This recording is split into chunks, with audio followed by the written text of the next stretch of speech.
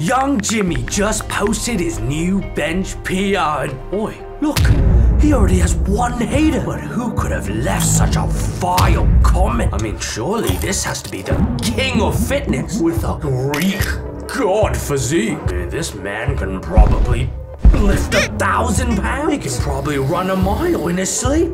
And surely to leave a comment calling someone weak must be the definition of peak performance.